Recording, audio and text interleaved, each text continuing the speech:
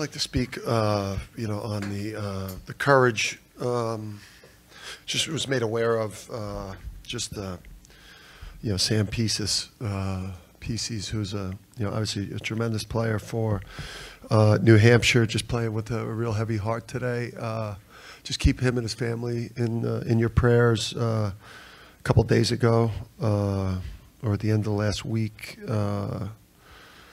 Um, his, uh, his, his house burned down back in France. So, uh, you know, prayers to him and his family, and uh, I thought incredible, courageous performance by that young man tonight. Uh, you know, playing with that uh, so heavily on his mind. Obviously, a really good player. Um, you know, the game. Obviously, listen, we're. we're uh, you know the, the standard is high here. Um, you know that that was clearly um, you know a below standard you know performance you know, for us um, in a number of ways. You know, in particular on ball defense. Um, you know, offensively, I thought we were, um, you know, we were just scatterbrained, especially in the first half. I just think, uh, um, you know, it, it, was typical of an early season, I guess, performance. You know, I watched, uh, you know, our early season game versus them last year and that wasn't exactly a clean performance uh, when we saw him last year, seven games in. So, um, you know, it's going to take some time for this group to gel. I thought there were some good things, you know, but for the most part, it was a, a frustrating, um, you know, it was a frustrating game.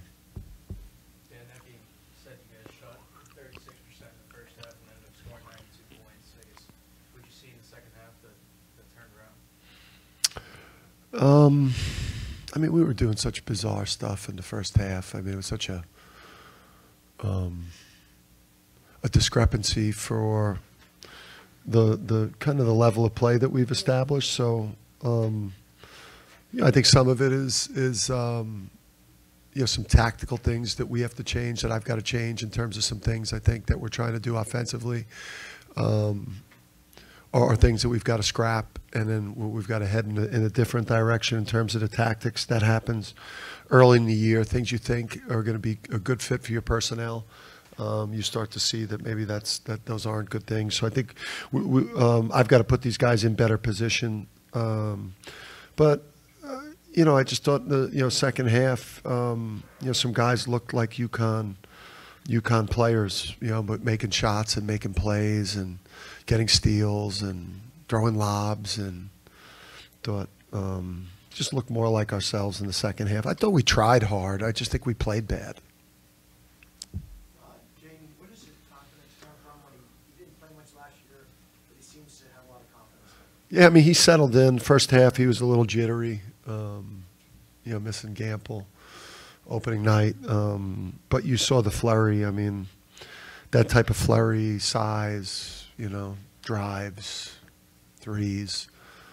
You know, he's a guy that I think is going to be, you know, just he's going to get a lot better. I, I, think guys like Solo and him, uh, in particular Liam, you know, some of these guys are just going to have to eat some some some uh, some growing pains with them. But I, I think the upside of, of, of, that those three players right now is a it's what's going to give this team a, a high ceiling as the season progresses. So we've got to invest in in Jayden Ross. Uh, that's what a, a, a, big wing UConn guard from an athleticism talent standpoint. That's what it's supposed to look like. His second half. That's what it's supposed to look like.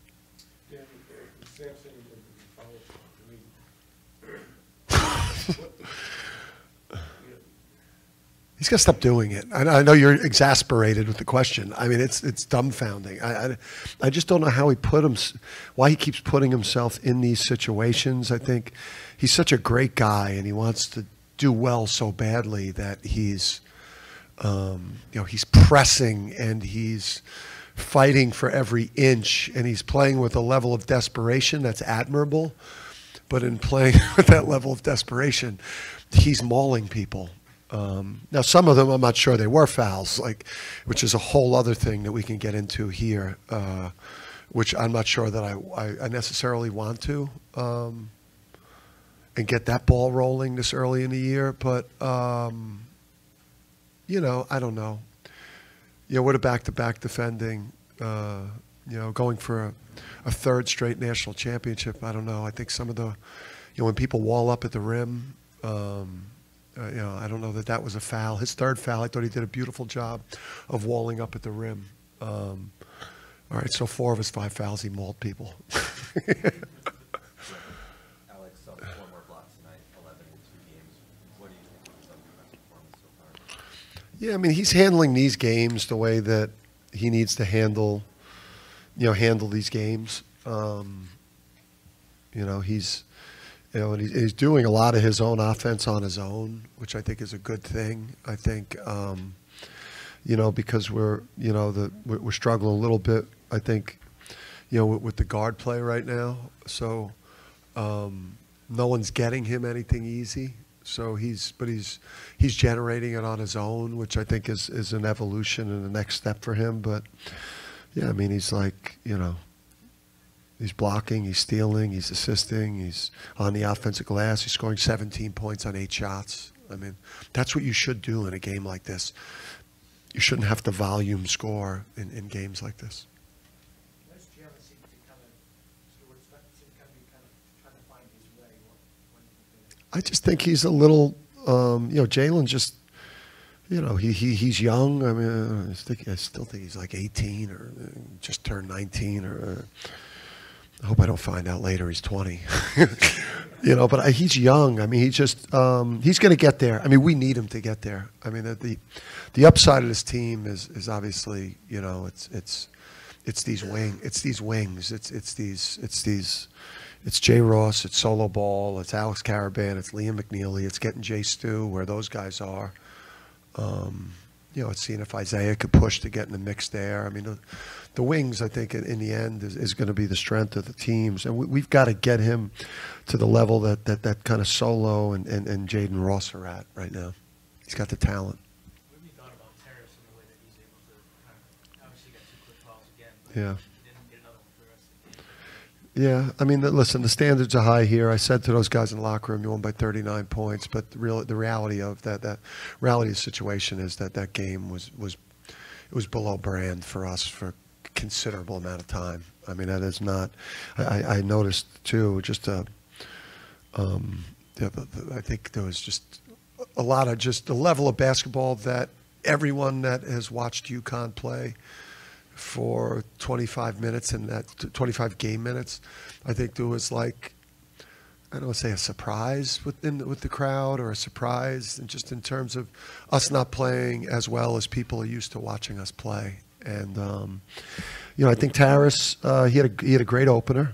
Uh, I, I think he and I think um, human nature uh, human nature started to creep in with him today. Um, he, he did not stick to the identity that he established. So he he had a really good opening night, and then a lot of people told Tarris like, "Hey, great job."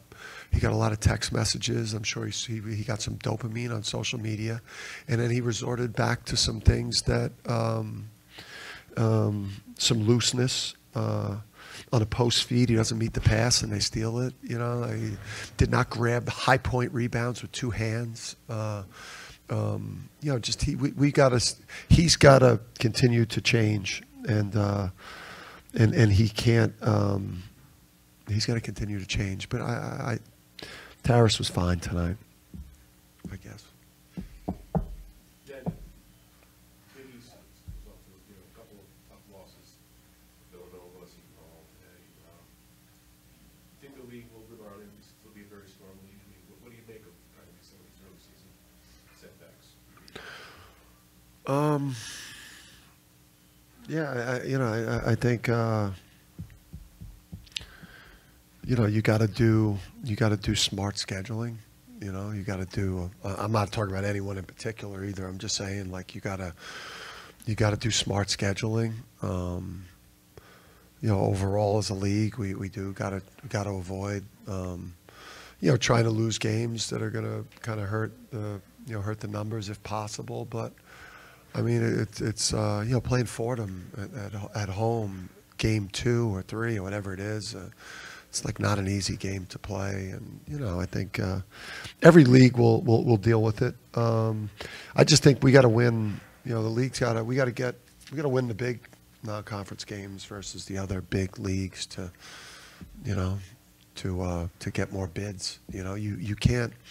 Yeah, we, we got we all got to perform well in the non-conference if we want more bids. After that first half, was there a, uh, was there a specific message that you or any of the coaching staff gave the, uh, the team after that? Yeah, I mean, I, I was torn at halftime because it was like some some bad on ball defense. Uh, you know, early on where like, you know, Woody Yard kind of drove us right to the front of the rim and scored on. Uh, you know, I think I think Liam a couple times and and uh, yeah, that just kind of got the ball rolling down the hill, and then we got a bunch of great threes that we missed and you know, you just keep coming into media timeouts, and you know what we've we've always just kind of completely dominated people, and and uh, it was uh, it was foreign tor- territory for us, where like you know you're you're at the eight me- eight minute media timeout, and you're up five or seven in this game, and I think we're all like. You know, I think then we wanted to make a 25 point shot so that we can get back to where we normally are in these games. I, like- I think we tried to do the right thing. Uh, we, we, we obviously we foul. You know, we had some undisciplined fouls. We we had some bad on ball defense for the most part. But I mean, listen, they shot thirty percent at halftime, and you know, a pretty good three point shooting team. You know, we, we took away the attempts. You know, we, we held them to thirty five. I just think we were bad offensively in the first half, and and you know, we probably should have scored one hundred and ten points, and you know, that was frustrating. Coach, can you speak on uh, Alex's development as a defender for the freshman year now? Yeah, I mean, he needs to. I mean, we need it because somebody's got. I mean, like Liam Solo, um, Samson's fouling a lot. I mean, you know, he he. Uh, you know, we got some young guys that are that are going to get better defensively, and right now they're not good defensive players. So these games early in the year are important um, to learn lessons and to you know develop and get better. Um, but yeah, I mean, Alex is playing the way a Big East Player of the Year is supposed to be playing. You know, he's uh, and uh, from a statistical standpoint, efficiency standpoint, but he's also really leading too. I mean, he's been like super vocal and um, doing everything we want him to do right now. Anything else for Coach? Thank you.